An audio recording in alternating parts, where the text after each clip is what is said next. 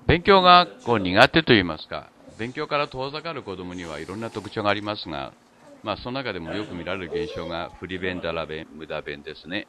まあ、振り弁っていうのは、あの、実にこう、振りが上手くなるんです。勉強しているという振りが上手くなるんですね。いかにもこの勉強してるんだというような様子を見せるんですけども、開いてみますと、あの、開いてというか、あの、後で見てみますと、まあ、何もやってないと。あるいはだら弁ですね。時間だけをだらだらだらだら過ごす。やっぱり同じようにこの、だらだ、あの、時間、なんていうか、時間ばかり過ぎて勉強しない。で、無駄弁もありますね。やらなくてもいいのに、その、いわゆるもう、例えばですね、簡単な計算問題はもうできるんですね。ですから、どんどんどんどん難しい勉強に挑戦していかなくちゃいけないんですけども、その無駄なことばっかりやってると。まあ、たまたまあの、今日あの、このビデオの中で紹介してる子供たちは、あの、ですね、あの 1, 1年生の子供ですけども、1人、まあ、あの年長児のお子さんもいます。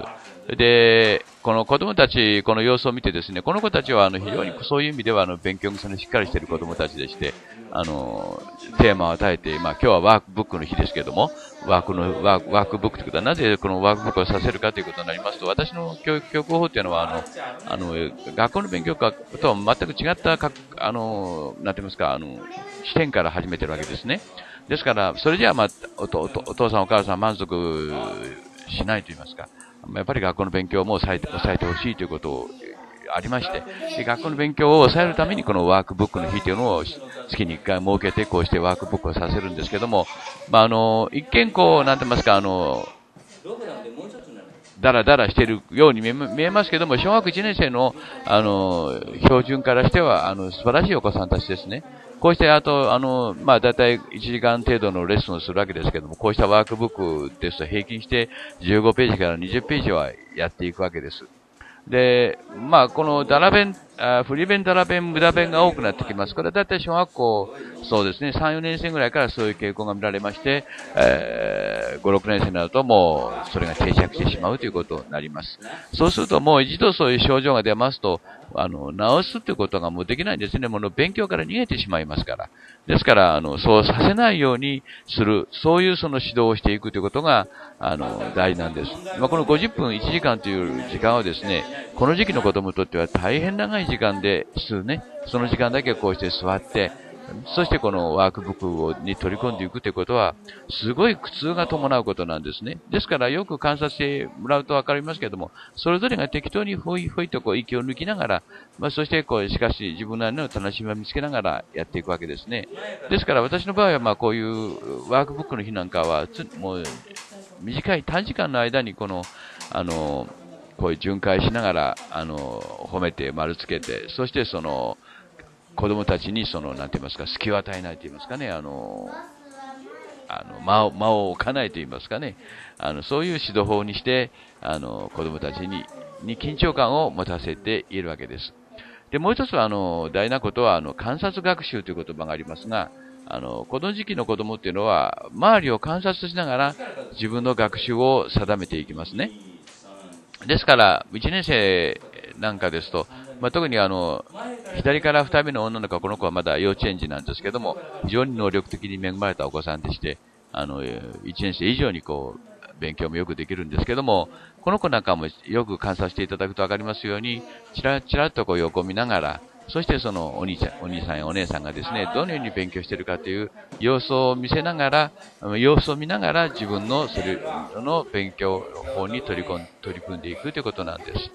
あのー、まあ、それぞれの子供にはそれぞれのリズムというものがありますからね、あのー、適当にこの息抜きをする、その、その、あの、リズムといいますかね、息抜きする、息抜き、息抜きする時間がですね、長い子供もいれば短い子供もいるわけです。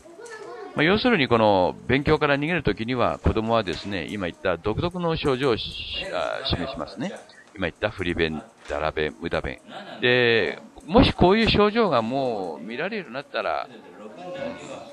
というかもう家庭教育は失敗したと見ていいですね。まあ、学校でもよあの塾でもそうでしょう。もうもう家庭教育は失敗したんしたんだと。そうしないことの方が大事なんですね。ですからそういう子供になった状態でですね、お父さんお母さんが叱る、先生が叱ってもですね、ますますそれが上手くなるだけでして、あのー、上手くなるというか、かえってこの逆効果というかね、あのー、なってしまうんです。ですから、まあ、そういう症状が見られましたら、もう思い切って学習のレベルを下げるんですね。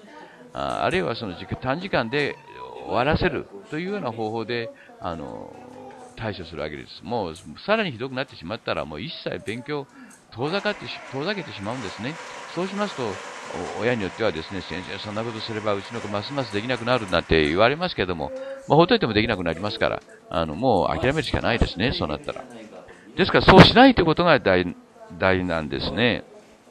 で、私が印象に残っているのは、ある男の子なんですけども、小学校2年生の男の子だったんですけども、ある母親からですね、夏休みの間だけでもいいから息子を見てほしいと。まあ、そういう、まあ、あの、依頼があったわけですね。遠い親戚に当たることもなったもんですから、まあ、普通はそんなことしないんですけども、じゃあ夏休みだけ見ましょうということで、私の家に呼んだんですね。で、まあ、その時に最初に来た時に驚いたのがですね、カバンの中を見たらワークブックがぎっしりと入っておるんです。でしかもですね、それは難しいんですね。もう、もうなんていうか、はるかにその子供の能力を超えたワークブックがぎっしりと入ってるんですね。で、それ見て私びっくりしまして、こんなのできるわけないじゃないのって言って、1ページやるんだ、1ページやるだけでも2、3時間かかるような、そんなワークブックをですね、何冊も持ってやってきたわけです。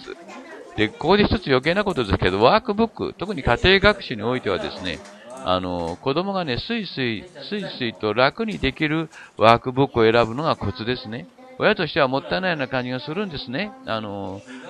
どうしても書店行ってこう何かの問題集を選ぼうとしますとですね、文字がいっぱいぎっしりと詰まって、かつ難しそうなワークブックの方が、まあ、得を、なんて言いますかね、女性独特の経済関連なんですね。経営関連じゃなくて経済関連なんですね。でそういうの方、そういうのが得だというふうに思われ思思うんでしょうね、あれ。だけどそれはかえって子供を勉強から遠ざけてしまうんです。で、まあ、大手の出版社のあのワークブックには多いんですけども、あの、例えば見開き2ページにに1番から10番まで、まあ、10番まで問題があったとしますね。そうすると、1番はものすごい簡単なんです。それこそもう、もう誰でも寝ててもできるような問題なんですね。ところが10番まで、同じ見開きですよ。20番まで行くと、今度はもう、もう上位10%の子供でもその、かなり考え込んでしまうような問題があるわけです。その落差、私はそれ落差と呼んでるんですけども、落差が大きいワークブックは買ってはダメですね。まあ、1番、2番はスイスできるからいいいいかもしれませんけど、3、4番で詰まってしまうんです。で、5番、6番でできなくなって、7、8, 7 8番でギブアップと。で、10番なんかとても手がつかないと。そういう状態になってしまうんですね。ですから、は子供に与えるワークブック、私がまあ今日子供たちにさせてるワークブックなんかは、まあ子供の能力を10とするならば、あ6か7のレベルのワークブックなんです。で、まあこういうワークブックであれば子供たちはスイスや喜んでやりますし、またできるという、できたという達成感が、まあ達成感が大事なんですけども、達成感を味わうことができるんですね。この達成感が大事だということなんです。僕はやった一冊やった今日は15ページも勉強したんだっていう達成感が必要なんですね。そしてこの、あの、達成感を、その、子供に、まあ、楽しませてあげるというかね、そういう状況で、それからまあ簡単な問題でもあってもですね、こうして丸つけてあげて、やって、よくやったね、よくやったね、素晴らしいねって言って褒めてあげる。そして前向きに、こう、子供を引っ張ってってあげるということが、大事ですね。こんなのできないの？こんなのできないじゃ困るじゃないの？っていうような、そういったその指導はタブー中のタブーですね。そして、まあ、子供を徐々に徐々にこの、なんて言いますか、あの、勉強にというしつけを身につけさせていくんです。まあ、そういう意味では小学1年から2年生にかけては非常に大切な時期なんですね。勉強のしつけと言いますか。っていうのは、そのしつけの中にはですね、忍耐力っていうのも当然含まれるわけです。もっというのはもともと、まあ、こういうふうにこう問題を解いたり、計算したり、あの、漢字の勉強を暗記したりっていうのは、まあ、苦痛が伴うわけですね。これは苦痛なんですよ。あの、勉強っていうのは苦痛なんですね。特にあの、それはあの何かの目標があればいいんですけども、目標がない子供にとっては勉強っていうのは苦痛なんですね。その苦痛を乗り越える力が忍耐力ということになるんです。ですから忍耐力のある子供っていうのは、あの、こういう勉強という部分についても、この、それを乗り越える力がありますから、別の、別のところで忍耐力を養っていくということですね。あの、ついでに言いますと、勉強を利用して忍耐力を利用、あのつけようなんて、そんな一石二鳥のようなことをやっても、これは無駄ですよ。あの、両、大抵ってまず100%両方無駄になります。忍耐力がつかしないし、つかないし、勉強は嫌いになるというになってしまうんですね。まあ、そこで、あの、勉強、意欲を奪う、まあ、5つの要因として、私はですね、その、次のものを挙げます。過負担。負担、負担感が大きいということですね。まあ、あの、その子供にとって、例えばまあ30分が限度だというのに1時間、そういうふうにこの長い学習時間、回数の多い塾学っていうのは、まあ、これは過負担になるわけですけども、あの、負担が多いと、あの、やる気をなくしますね。で、過関心ですね。これは、あの、おまあ、少子化の影響もあるんでしょうけども、あの、親のこの過関心というか、もう息が抜けないと言いますかね。まあ、あの、小学校1年、2年になってきますと、家庭というのは、あの、役割が変わってくるんです。まあ、それまでは、あの、家庭というのは、あの、教育の場であり、しつけの場であったんですけども、小学校入りますと、今度は家庭というのがですね、まあ、憩いの場、心を休める場所って言いますかね、気を抜く場所と言いますかね、あの、疲れを癒す場所に変化しなくちゃいけないんですけども、あの、まあ、お父さんお母さんにはそれは理解できないんですね。あの、それまでのその、幼児期と同じような感じで、その、家庭教育っていうようなことで構えてしまいますから、それがあの、まあ、いわゆる、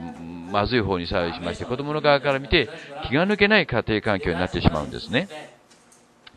過関心はこれまずいですね。ですからまあ、子供によっては学校で大変疲れて帰ってきますので、あのまあ、かなり存在といいますか、だらしなくなりますけども、まあ、うちの子は学校で頑張ってるから家ではこうなんだと、そういうふうな理解の仕方をしてあげないと子供は行き場所をなくしてしまいますね。それから3つ目が過剰期待。やればできるはず。このこのやればできるはずうちの子はやればできるはずって先生って言ってよく言われますけども、そもうやればできるはずという言葉ほど、まあ過酷、過酷な言葉はないですね。まあ普通やればできるはずと思ったら、やってここまでというふうに思い直すことが大事ですね。あの、やればできるはずって追い込み、追い追い込みますと、まあ、まあ、失敗しますね。それは確かにそうかもしれません。あの、可能性としては親はね、可能性を信じたいし、あの、うちの子はね、やらないからできないだけであれあって、やればもっとできるはずだというふうにこう信じるということは大事なこともかもしれませんが、それを子供に強いてはいけませんね。まあ、この過剰期待。子供を追い立てる。親の高望み。これは本当に気をつけなくちゃいけませんね。まあ、うちの子はやってこんなもんだと。ね、親がまあこんな程度だから、それ以上に子供が望んでどうなるんだというような見方が必要ですね。そして4番目、過干渉ですね。親が何でも先に決めてしまう。ワークブックにもこれ相性っていうものありますから、本来なら子供をね、あの、書店連れて行って、子供に選ばせるのがいいんですけども、これがいい、これがいい、これがいいから、これ選びなさい。あるいはお母さんの中でずるい人がいて、あんた自分で選びなさいよって言っておきながら、そういった子供を選んでくると、こんなのダメよと言って、またあの、やあの選び直させるというようなこともやるわけですね。そして5つ目に与えすぎ。これは先ほど言いましたように、もう、飽食状態ですね。満腹状態。まあ、満腹時っていう言葉私昔考えたことありますが、今でも時々使いますけども、もう、なんて言いますかね、満腹時なんですよ。もう家や、家へ帰りますと、もう、ね、学習デスクもきちんとしている。学習環境はぴっもうしっかりとできている。棚を見るとね、あの、学習参考書がずらりと並んでる。